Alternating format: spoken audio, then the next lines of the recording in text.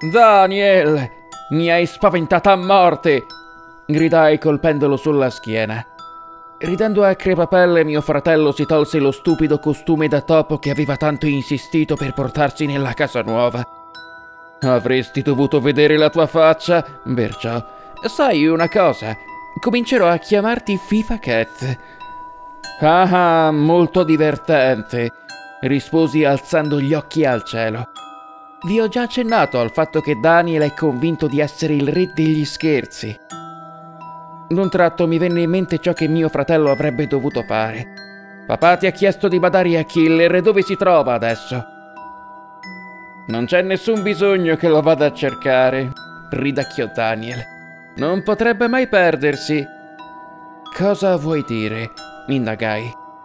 Ho chiuso Killer nello scantinato, mi rivelò pieno di orgoglio. E poi, mentre tu gironzolavi per il porticato, sono entrato per la porta di servizio e mi sono nascosto sotto al lavandino. Che topaccio orrendo! esclamai disgustata. In quel momento udì uno strano rumore, come un ticchettio provenire dal pavimento di linoleum. Cos'è? chiesi. La bocca di Daniel si spalancò. Oh no! È un topo vero! urlò. Kat, stai attenta, togliti di lì! Senza pensarci neanche un istante, balzai su una sedia della cucina mentre Killer entrava trotterellando nella stanza. Daniel proruppe in una ricciata stridula. Sei caduta due volte nello stesso scherzo! esclamò racciante. Mi lanciai addosso a mio fratello e cominciai a fargli il solletico. Preparati a morire ridendo, gridai. Basta! Aiuto, no! Singhiozzò. Kate, ti prego, smettila per favore. Io non posso sopportarlo. Ti arrendi? chiesi. Daniel annui. Sì, balbettò mezzo ridendo e mezzo boccheggiando. Va bene, concessi generosamente. Adesso puoi alzarti. Grazie, disse. Ehi, che sta facendo Killer laggiù? Non attacca, non cadrò in un altro dei tuoi trucchi, dichiarai. Ma quando abbassai lo sguardo, vidi che il Cocker Spaniel sembrava molto interessato a qualcosa che si trovava all'interno dell'armadietto sotto al lavandino che avevo lasciato aperto. Lo tirò fuori, poi lo annusò. Lo spinse con il muso e ringhiò forte. Strano, pensai. Killer non ringhia mai. Ehi bello, cosa hai trovato là dentro? Lo chiamai. Il cane non mi patò. Mi chinai per vedere più da vicino. Che cos'è, Cat? chiese Daniel. Niente di particolare, risposi distrattamente. Solo una vecchia spugna, credo. Sembrava perfettamente normale, piccola, rotonda e marroncina. Un po' più grande di un uovo. Ma la spugna aveva reso Killer insolitamente eccitato e nervoso.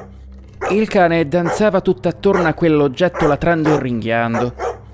Gli presi la spugna per guardarla meglio, ma incredibilmente il mio adorato cagnolino cercò di mordermi. Killer! gridai sorpresa. Cattivo! Sgattaiolò in un angolo e con un guaito imbarazzato abbandonò mestamente la testa sulle zampe. Sollevai la spugna davanti agli occhi per esaminarla. Ehi, aspetta un attimo. Immediatamente compresi il motivo dello strano comportamento di Killer. Daniel, guarda, esclamai. Non posso crederci.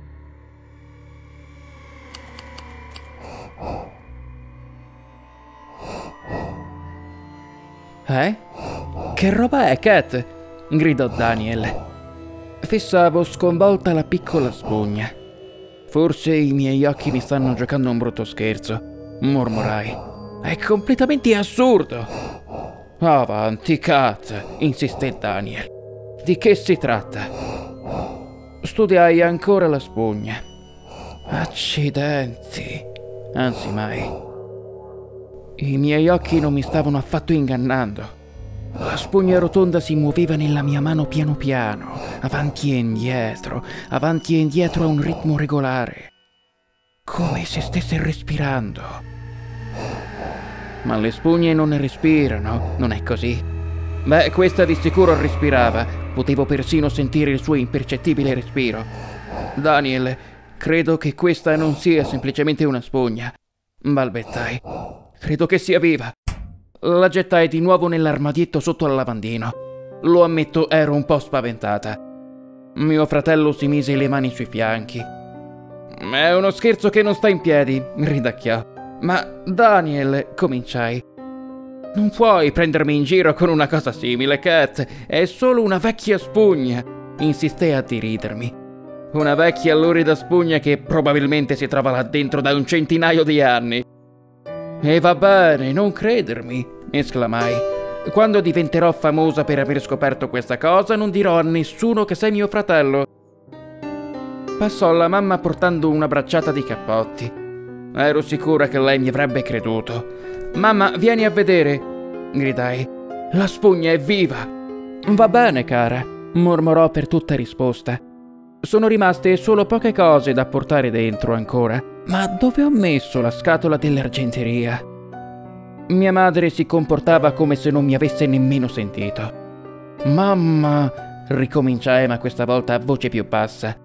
La spugna sotto il lavandino respira. Mi ignorò affrettandosi verso la porta a zanzariera diretta fuori in cortile. Nessuno si curava della mia sconvolgente scoperta, eccetto Killer. Lui sembrava parecchio interessato, forse anche troppo interessato. Killer allungò il collo e infilò il muso nell'armadietto, poi rimase a lungo a fissare la spugna, con un ringhio basso e profondo in gola. Perché stava ringhiando di nuovo? Killer toccava la spugna con il suo muso umido e la spingeva qua e là annosandola a tutto spiano. Per un momento sollevò la testa a guardarmi con un'espressione perplessa nei suoi occhi canini. Killer aprì le fauci e afferrò la spugna con i denti. Ehi, non è roba da mangiare! gridai prendendo il cane per il collare e tirandolo via dal lavandino. Potrebbe anche essere una scoperta molto importante. Mi voltai verso mio fratello. Hai visto, Daniel? Killer sa che è viva, insistetti. Sul serio, non è uno scherzo. Vieni a guardare da vicino. Ti assicuro che vedrai la spugna respirare. Daniel ridacchiò come se non mi credesse. Tuttavia infilò la testa nell'armadietto. Ehi, accidenti, potresti aver ragione, ammise. Si sollevò a guardarmi in faccia. Penso che sia viva. E penso anche che sia mia.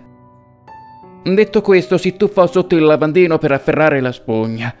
Non pensarci neanche, protestai afferrando un lembo della sua maglietta e trascinandolo via. L'ho vista io per prima e perciò la spugna appartiene a me.